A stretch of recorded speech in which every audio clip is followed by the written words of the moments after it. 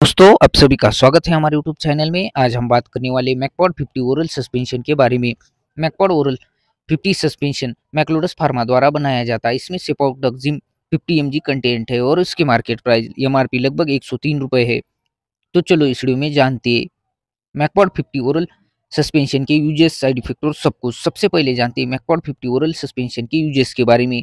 Macpod fifty oral suspension का इस्तेमाल bacteria से होने वाले संक्रमण के इलाज में किया जाता है। Treatment of bacterial infection Macpod fifty oral suspension, जो कि आपके बैक्टीरिया को मारकर, उनकी ग्रोथ को रोककर काम करता है। इस दवा का इस्तेमाल कई अलग अलग प्रकार के संक्रमण, जैसे कि मस्तिष्क, फेफड़ों, कान, पेशा मूत्र मार्ग हड्डियों, जोड़ों, त्वचा, रक्त हड्डी के इलाज के लिए किया जाता है। ये दवा आमतौर पर आपको कुछ दिनों के अंदर बेहतर महसूस करवाती है, लेकिन आप चाहे बताए गए अनुसार इसे लेते रहना चाहिए। चाहे आप बेहतर महसूस कर रहे हो, समय से पहले बंद करने पर इन्फेक्शन फिर से वापस आ सकता है और फिर इलाज करना और भी मुश्किल हो सकता है। आप जानते मैकपॉड फिफ्टी ओरल सस्पेंशन के साइड इफ़ेक्ट के बारे में।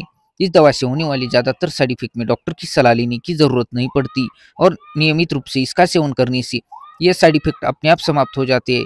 अगर साइड इफ़ेक्ट बने रहते हैं या लक्षण बिगड़ने लगते हैं तो अपने डॉक्टर से सलाह लें। मैकपावर के सामान्य साइड इफ़ेक्ट जैसे पेट में दर्द रैश मिचली आना डायरिया दर्द जैसे लक्षण शामिल है। अब जानते मैकवाड फिफ्टी ओरल सस्पेंशन का इस्तेमाल कैसे करें या डोसेस के बारे में इस्तेमाल करने से पहले लेवल की जाँच कर ले। इसे मापने वाले कब से मापे और फिर पिए। इस्तेमाल करने से पहले सारप को अच्छी तरह से हिलाए। मैकवाड फिफ्टी ओरल सस्पेंशन को भोजन के साथ लेना सबसे बेहतर होता है।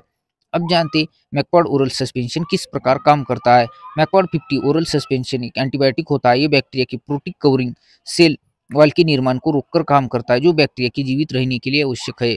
ऐसा करने से ये दवा इन्फेक्शन के कारण होने वाली बैक्टीरिया को आगे बढ़ने से रोकती है और बैक्टीरिया का प्रतिरोधक विकसित करने और इससे फैलने से रोकती है। अब जानते हैं, इसे यूज़ करने के लिए कुछ खास टिप्स के बारे में। आपके बच्चों को एंटीबायोटिक्स का पूरा कोर्स लेना चाहिए। बहुत जल्दी बंद कर देने से बैक्टीरिया दोबारा बढ़ सकता है रेजिस्टेंस हो सकता है और कोई अन्य इन्फेक्शन कर सकता है। पेट में परेशानी से बचने के लिए इस दवा को खाने के साथ ले। वायरस से सामान्य ठंड फ्लू जैसी स्थिति होती है। ऐसी स्थितियों के लिए इस दवा का इस्तेमाल कभी न करें। भविष्य में बिना बीमारी के लिए दवा की बचत न करें। अगर ये दवा लेने से आपके बच्चों को खुजली, रैश, चेहरे, सूजन या सांस लेने में कठिनाई होने लगे तो दवा लेना बंद करिए और अपने डॉक्टर को सूचित करिए, ये जानकारी आपको कैसी लगी दोस्तों? अच्छी लगी हो तो वीडियो को लाइक और चैनल को सब्सक्राइब करना ना भूले। अंत तक देखने के लिए धन्यवाद दोस्तों। जय हिंद दोस्तों।